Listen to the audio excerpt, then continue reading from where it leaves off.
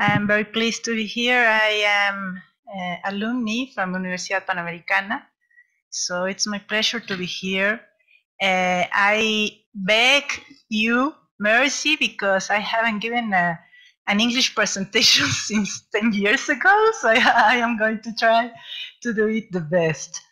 Coparmex, I don't know if you uh, know what Coparmex is, but it's a union of uh, owners of business of companies our uh, our objective is to uh, do business putting the person in the center of everything. So we always are working uh, towards solidarity subsidiarity common good and of course many other principles that we we propose there's a new project that we are uh, projecting in Coparmex, and we are going to talk uh, of it but later. We will begin uh, talking about family responsible companies. If we want a world where everything is with justice and where babies and sick and elders and women and men and young have the same opportunities, we have to think in the place where everything begins uh, when we think about money, when we think about professional uh, development. So we have to begin thinking that reality is superior to idea, that the things in the world have changed very much over the three last decades, transcendent social demographic changes have occurred, but we are not taking that into consideration. Women have entered the labor market in large, large numbers, and this is seen, I mean, if you go to, to search uh, for a job, I have three kids that have gone out from the university, and it's very difficult for them because today not only eh, men are looking for work, but women are looking for work, and the places in the enterprises are limited. So this is uh, one thing. The other thing is that the rate of divorce has increased.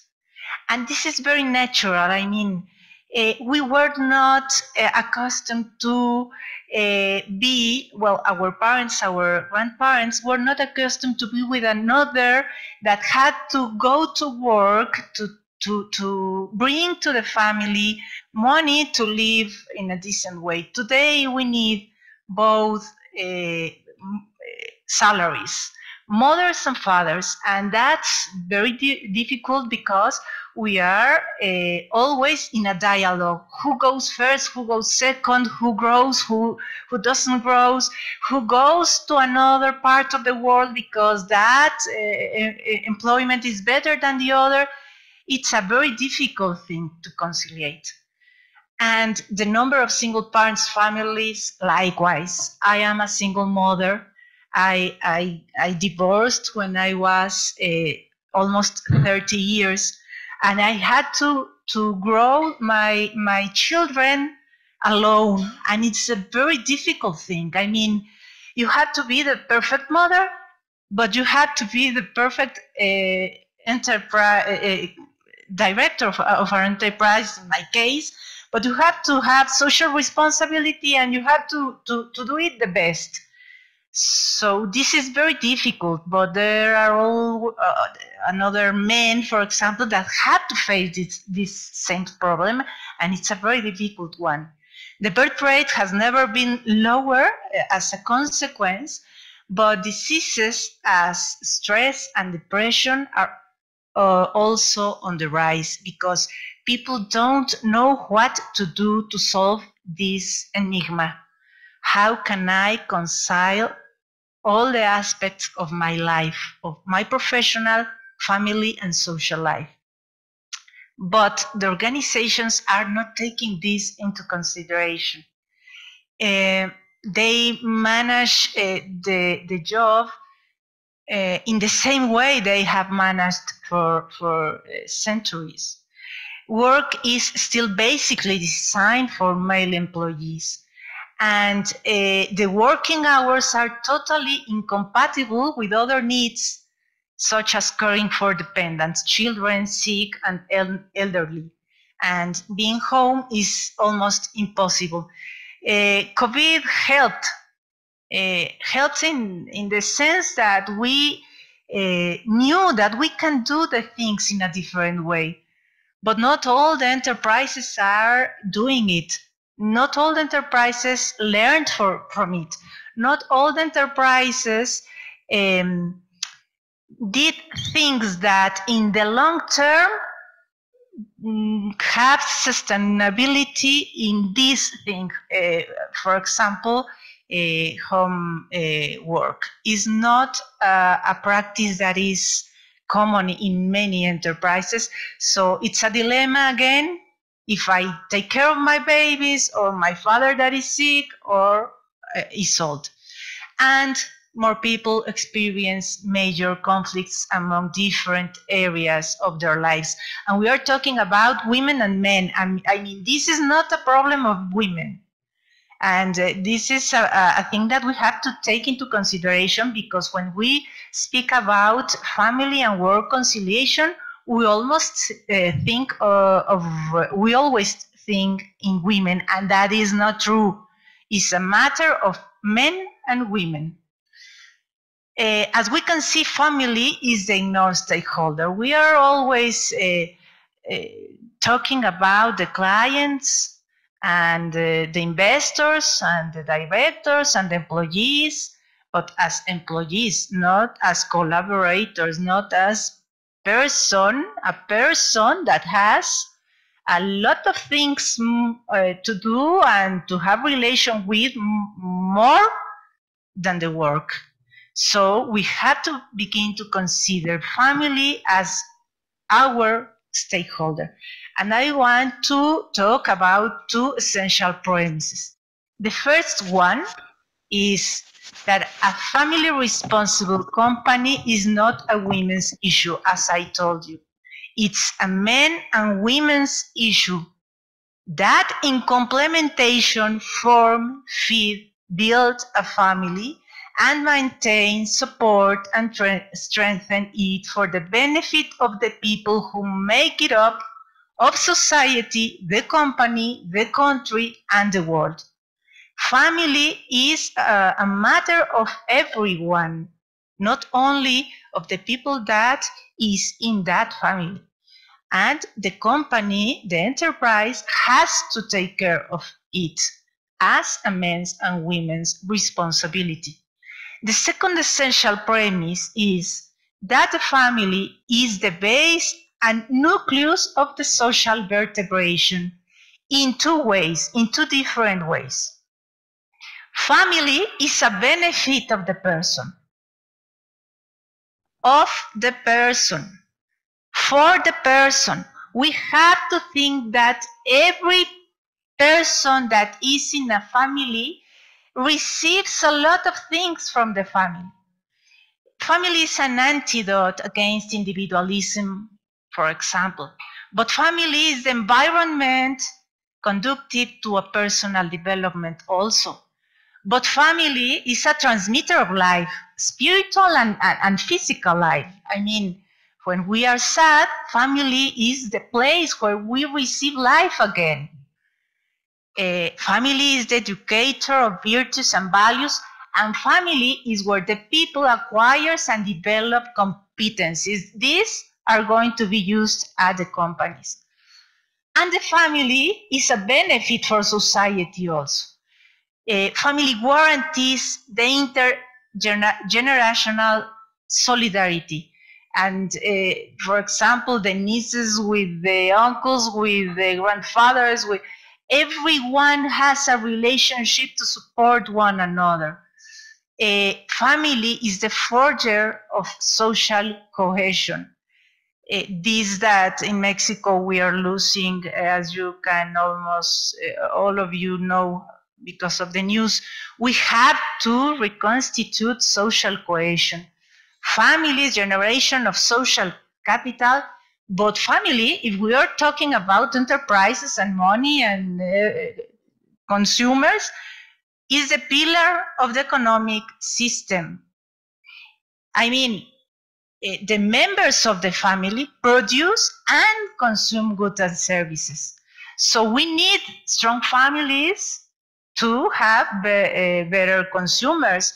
If the family doesn't work, if the, family uh, has another needs because it is broken apart, so they are not going to consume and they are not going to produce as we need them to produce.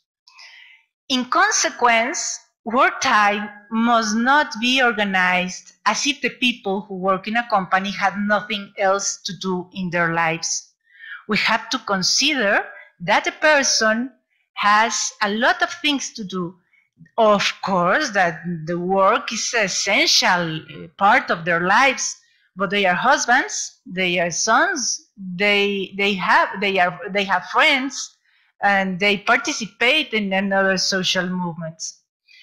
And we have to understand that, that betting on the family is not at expense; it is an investment. So if we as companies uh, have the and, and, and celebrate the family day, we are investing in our company. Of course in the company in the families of our collaborators but in our company. Productivity depends to a great extent on the stability of the person and therefore the stability of the family if you have a, a person that, that is getting a divorce or that is sick or that is sad he or she is not going to be as productive as they could be. And we have to understand that and we have to prevent that. This, the, the conciliation, work and family, I consider is a matter of human ecology. And we have to give that relevance to the topic.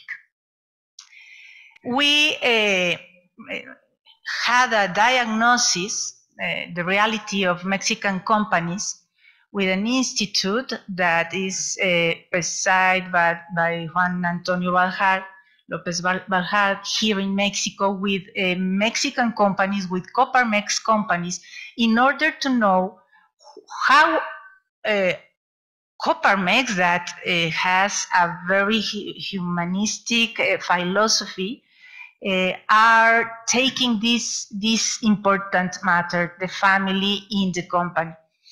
Uh, before uh, telling you how was that, that uh, diagnosis, I want to tell you that in Mexico, we are not committed to this issue that we are talking about. I hope in other countries uh, they are committed. In Mexico, we are not committed. Mexico has 37 conventions not ratified before the ILO.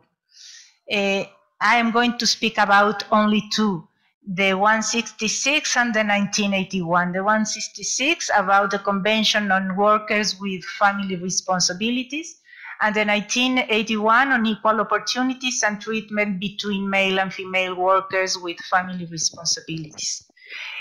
Both could influence the diagnosis of appropriate policies and measures to concile work and family life, to promote female employment, and the incorporation of men in care of domestic work. Still, Mexico hasn't signed that, hasn't ratified those uh, conventions. And, and it's even sadder uh, Eh, in Ibero-America, only Nicaragua and Brazil have a family ministry. Only Argentina, Panama, and Guatemala have a second level organization. In Mexico, we have a third level organization, DIF, and I am not going to talk more about it because basically it doesn't do anything for family so unless for family responsible companies or nothing like that or public policies or nothing at all. So this is very sad. I mean if the family is the nucleus of the society and of the company where are we living family in, in public policies? Is is is under, understandable. Uh, it's not working the the PowerPoint. Can you help me, please? It doesn't. move. Okay. Some data on Mexican enterprises, the result criteria. Uh, you are going to see uh, these four colors, red lights, passive, committed, uh, highly committed. Of course, when uh, an indicator is in red light, uh, the enterprise is not doing anything about the problem. Passive, uh, more or less committed, they have policies, but not all the, the, the, policies they would have. And highly committed, they are very committed with, with this topic. Next, please. Uh, these are the five topics that we are taking, uh, that we took into consideration to evaluate with these uh, enterprises that resolve this, this, this poll. Uh, one is about economic development and family wealth. The second is equity between women and men. The third is spatial and temporal flexibility. The fourth is uh, physical and mental health. And the last is integration and family formation. We are going to go by one by one. Next, please. Uh, the pillar with the highest number of red flags and the one with the lowest score was the pillar of integration and family formation. This being the pillar with actions most dire directly related to the family. Almost 1% uh, of the enterprises uh, do things directly for the family. For example, capacitation of the family day or something like that. I mean, if you see, 51% is passive. It's, it's, it's terrific. Uh, next, if we uh, speak about spatial and temporal flexibility, um, it's a pillar that despite having been watershed for the economy to continue functioning during the pandemic has decreased, as I had told you. In many cases, the achievements and advances were cut short by a lack of, of professionalization and culture that allows sustainable programs. If you see 43% is passive, 15% is red light. I mean, all 24% is doing something to have this flexibility. And it, it, it's uh, if you look at the at the program down is 3.4 of 10 points. We are very very very low. Next, please. In the third place, we have the pillar of physical and mental health in the family where we find 48% of passive companies. This being a pillar that is considerably affect the effectiveness of employees. As I told you, if we are not uh, health in our physical uh, and mental uh, health, we are not going to be productive. Uh, but the companies are not doing enough in this topic. Uh, if we talk about the, the next, please, the pillar of equity between women and men, uh, that is in second place, it sounds out as the pillar with the largest number or highly committed companies, that is the largest number uh, uh, in which the policies that carry out essential and innovative actions to achieve equality between women and men we have 37% of committed and 23% of highly committed. This is a topic that uh, in Mexico uh, is very, very spoken, is very diagnosed. So uh, uh the companies have um, more policies about this, but we have 40% that is doing nothing. And last, the, the, the last question, next please. Uh, the first place we have the pillar of family economic and patrimonial development where 56% is committed. If you if we go with highly committed we are talking about 70% but it's not only the topic of uh, economic remuneration. We have here to look another kind of remuneration like the emotional salary the salary that contributes to harmonious development between work and family life. Next. consequences of not having a family responsible company, we are leaving them in Mexico and in Latin America, as far as I know. Uh, we have the rupture of the social fabric that we can see them in, in, in many ways. Family disintegration, more divorces, children leaving home, less school level, and of course, delinquency and ninis no, don't work and don't uh, study uh, increased because we don't have this balance, this conciliation that uh, are necessary for the person that is working with us in our enterprises. Next. What to do from the company? I mean, we, we have this diagnosis it's a, uh, from my point of view, it's a terrible diagnosis. I am almost sure that if we had enterprises, big, medium, uh, mini enterprises, with this view, uh, with this perspective, perspective of family, with this view of conciliation of the work and the family, we will have better societies. Uh, but we have to do something, and we have to do something from the company and from the society. We are going to talk now from the company. Next. Next, please. How to approach the challenge. A true and, a true and complete portrait of human being should uh, account for a person's unitary makeup with all four dimensions material, spiritual, individual, and social. That is a person, a complete person, not, not, not only economic. These are the four, the four levels, the four uh, dimensions of a person. And to have a complete vision of a person makes up, companies should also have aware of the motivations that can satisfy a human being's need in, in, in these four dimensions. The motivations that can uh, help the human being in the, in the four dimensions are extrinsic, intrinsic, and transcendent. Extrinsic is remuneration, is uh, praise for work done, is more su superficial. If you go to intrinsic, is knowledge, is being better, is doing better things, is uh, to learn. But if we go to transcendent, is helping, is giving a good service, is uh, building my family, is building uh, strong relationships in job and in society and in family. So, as enterprises, we have to uh, encourage the three dimensions. I mean, people is not only going to have transcendent motivation. I mean, they have to eat and they have to learn, but they have to transcend too. Next, please.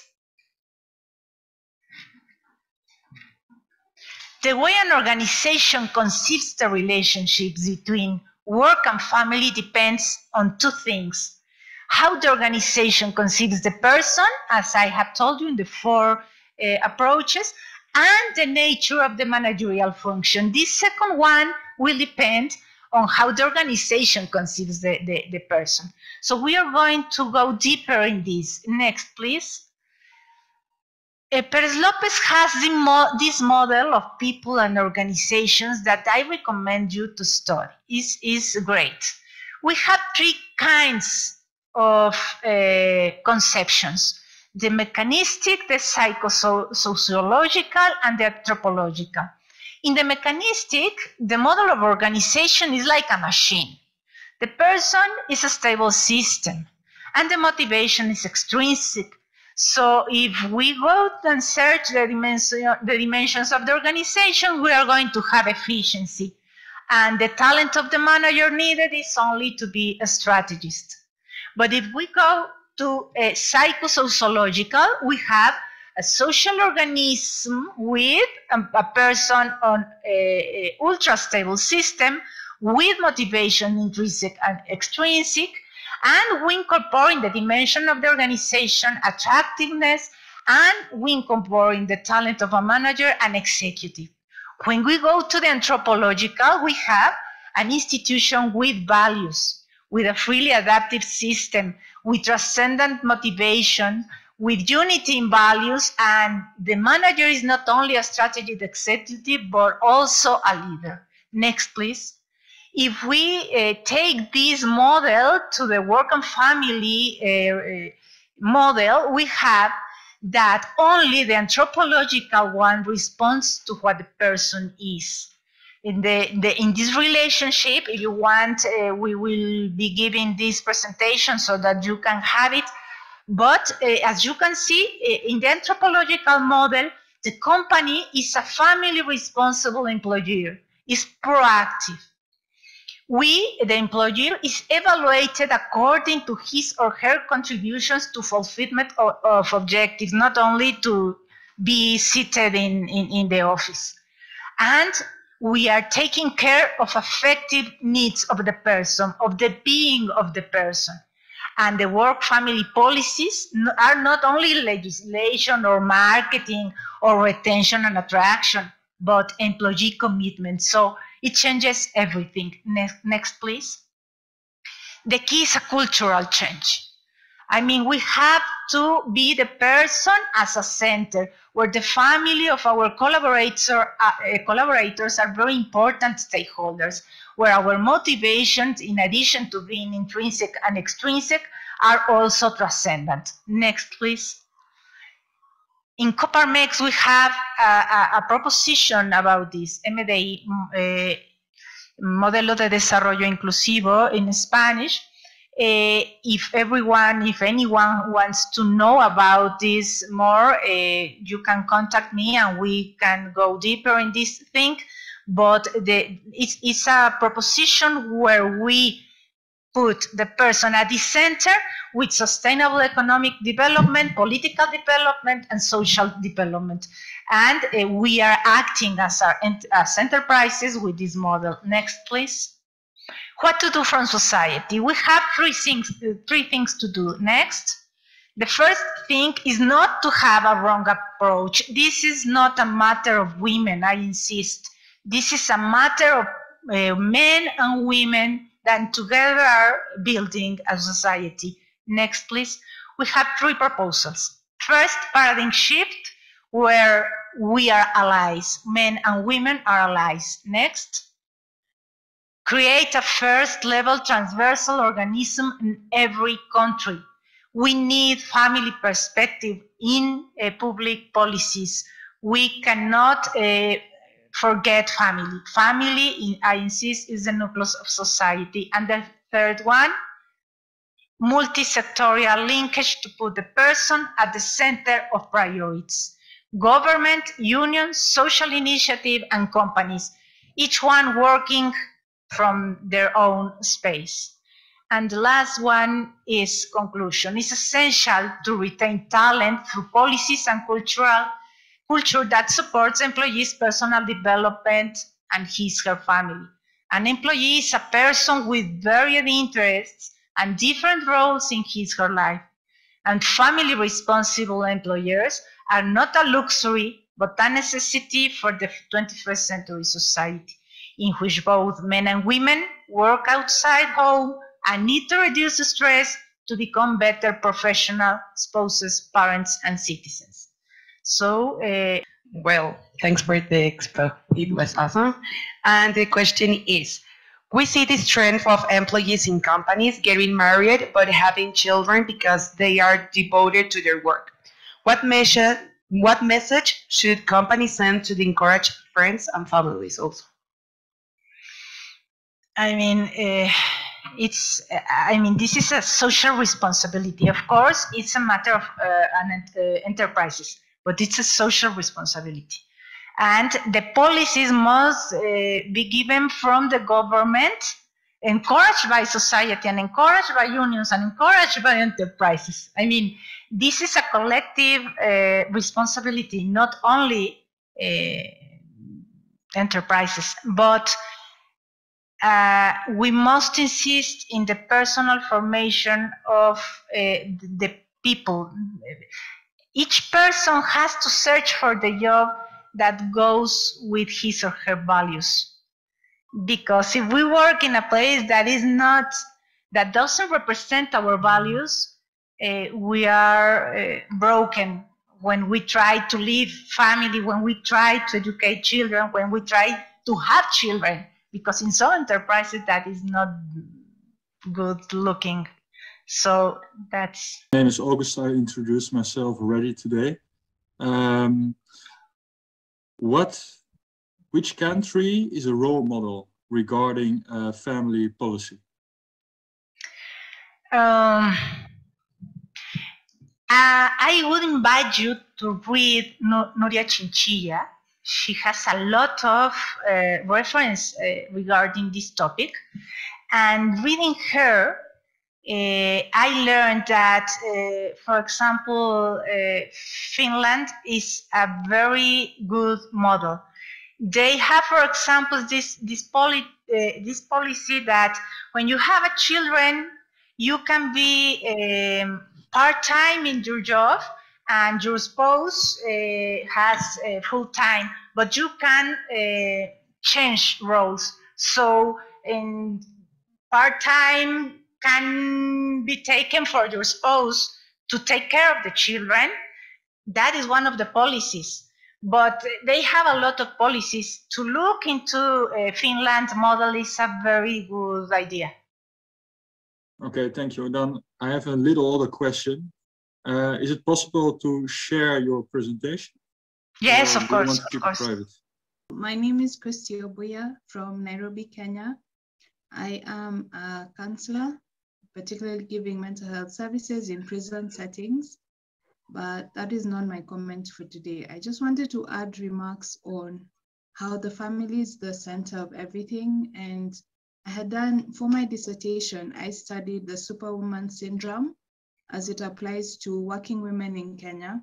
And just to agree with your presentation, what I found is that unlike what has been perpetrated a lot by the West, that women entered the workforce because of they wanted to empower themselves. They sort of felt like they were slaves in their family. That is not what my research showed. My research showed that most women are actually going to work to help support um, or increase the financial freedom and economy and just help support their partners in providing a better lifestyle for their children. So at the end of the day, their entry into the workforce, their work was also to contribute equally contributing to the family.